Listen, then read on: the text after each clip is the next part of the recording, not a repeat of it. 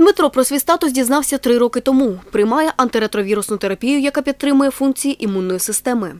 Два тижні тому чоловік зробив щеплення від коронавірусу вакциною Pfizer.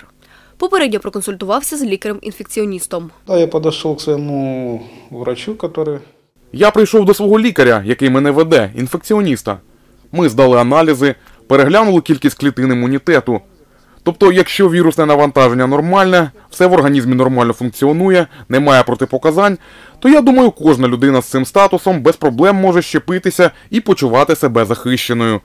Медичний директор Центру соціально значущих хвороб Микола Бережник каже, перед тим як робити щеплення людині з вірусом імунодефіциту, слід здати аналіз на кількість CD4 клітин. Якщо їхній рівень нижче 200, вакцинацію слід відтермінувати. хворі на віл-інфекцію з важкою імуносупресією, тобто яких показники е, CD4 та лімфоцитів знижені. На даний час це конкретно цифри вона змінюється постійно, але приблизно менше 200 е, е, Т-лімфоцитів CD4 на 1 мікролітр це вважається важкою імуносупресією, тому таким хворим протипоказано вакци- вакцинацію від е, коронавірусу десь на 3 місяці. Через 3 місяці робимо повторні аналізи. Якщо показники покращуються, то тоді протипоказання до вакцинації відсутні.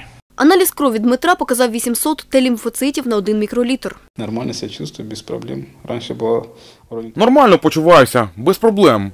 Раніше було в районі тисячі, зараз трохи опустилося. Може сезонне.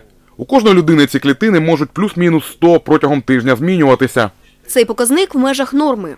Микола Бережник каже, низький рівень Т-лімфоцитів у диких пацієнтів може свідчити про неправильний прийом антиретровірусної терапії чи відсутність лікування. Це свідчить про те, що під час здійснення вакцинації його, е, його ослаблений організм може відреагувати на введення е, вакцини або е, проявами захворювання, або якимись іншими е, проявами, які є негативними для здоров'я організму.